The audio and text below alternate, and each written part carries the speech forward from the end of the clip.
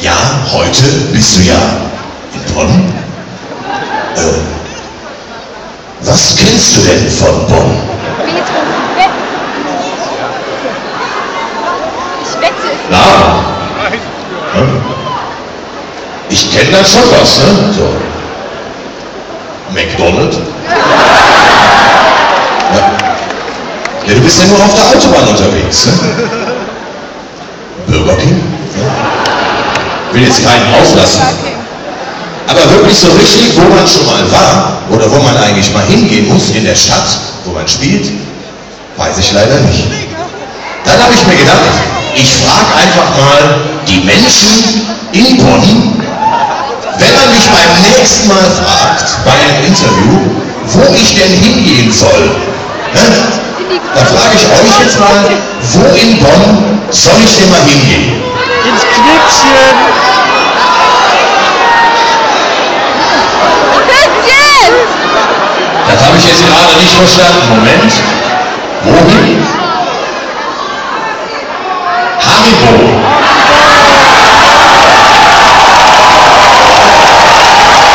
Echt? Ja, ernsthaft? Ist das ja? Doch.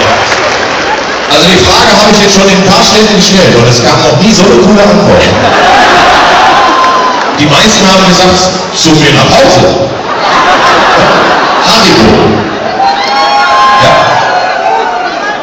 Das alle, ne? Also ihr habt ja ein Haribo-Werk. Ja.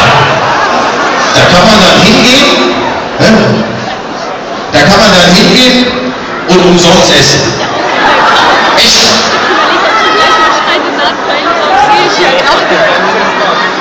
Egal wie viele Leute man ist.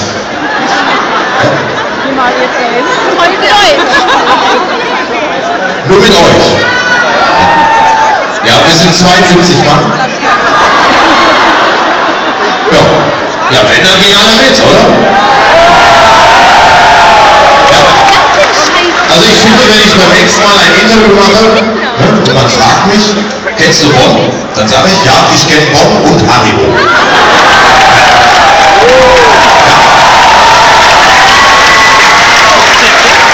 Super.